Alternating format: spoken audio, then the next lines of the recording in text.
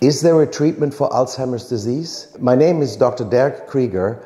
I'm a consultant neurologist at Fakeeh University Hospital, and my interest is in cognitive neurology.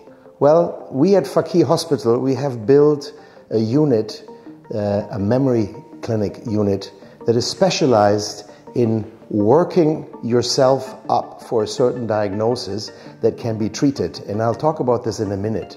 So, the first thing is you need to understand that several tests need to be done uh, cognitive tests, biomarker tests, imaging tests, neurophysiological tests. All of these tests need to be done to arrive at a diagnosis that is either Alzheimer's disease or another pseudodementia, another condition that mimics a dementing illness. So, if it is Alzheimer's disease, and this is why we're making this video, there is treatment.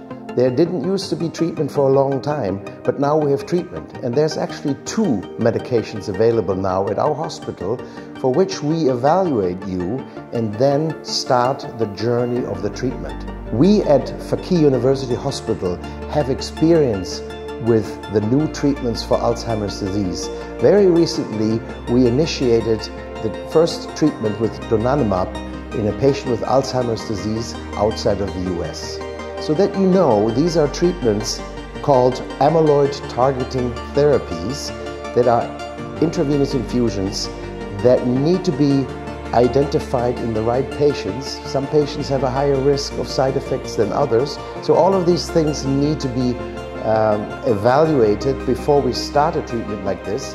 And then you would receive one monthly infusions of a treatment for a period of 18 months, for example, and then we'll review the effect of this treatment and monitor you further.